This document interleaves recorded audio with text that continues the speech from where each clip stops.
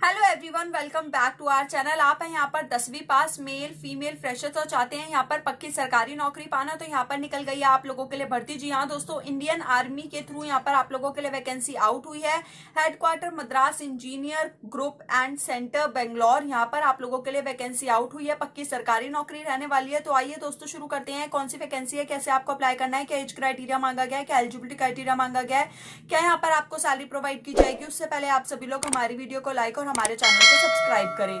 बात की जाए दोस्तों, यहाँ पर जो आप लोगों के लिए वैकेंसी निकली है, वो निकली है एम टी एस गार्डनर की, जिसमें आपकी क्वालिफिकेशन मांगी गई है कि आप होने चाहिए यहाँ पर दसवीं पास अगर आप हैं यहाँ पर सिंपल टेंथ पास तो आप यहाँ पर इस वैकेंसी के लिए अप्लाई कर सकते हैं। डिजायरेबल में यहाँ पर मेंशन करा गया है कि अगर आप यहाँ पर कंजर्वेंट है गार्डनर की ड्यूटी में तो यहाँ पर आपको प्रेफरेंस दी जाएगी। ध्यान रखिएगा दोस्तों डिजायरेबल क्वालिफिकेशन एसेंशियल नहीं है। अगर आप यहाँ पर फ्रेशर्स है तो भी आप यहाँ पर इस वैकेंसी के लिए अप्लाई कर सकते हैं।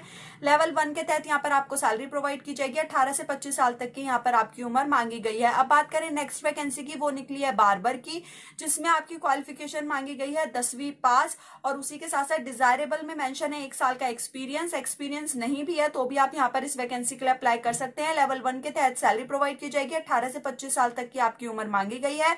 यहाँ पर आपको एज रिलैक्सेशन भी प्रोवाइड किए जाएँगे। एज पर government of India rules को पाँच साल का ओबीसी को तीन साल का। अब बात कर लेते हैं आपको अप्लाई कैसे करना है तो ये करना होगा आपको ऑफलाइन अप्लाई एप्लीकेशन फॉर्म का लिंक आपको नीचे डिस्क्रिप्शन में दे दिया जाएगा। आपको उसका प्रिंट आउट लेना है, उसे फिल करना है, उसके साथ सारे सपोर्टिंग डॉक्यूमेंट्स अटैच करने हैं। उनको एक एनवलप में पैक करना है एनवलप पे आपको मेंशन करना है। Application for the post of जिस भी पोस्ट के लिए आप अप्लाई कर रहे हैं अंडर सिविलियन डायरेक्ट रिक्रूटमेंट फिर वो आपको दोस्तों रजिस्टर्ड पोस्ट करने हैं। वो आपको कहाँ पर पोस्ट करने हैं, वो एड्रेस हम आपको बता देते हैं।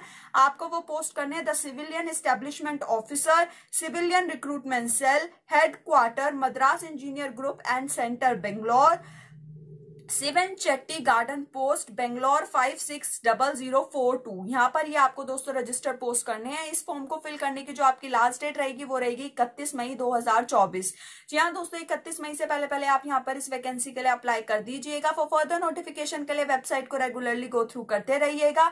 यहाँ पर जो आपका सिलेक्शन प्रोसेस रहेगा, वो रहेगा रिटर्न टेस्ट के थ्रू बाकी की जानकारी के लिए एडवर्टीजमेंट का लिंक आपको नीचे डिस्क्रिप्शन में दे दिया जाएगा। एडवर्टीजमेंट को आप अपने आप गो थ्रू ज़रूर करिएगा। Thank you so much much also for watching our videos.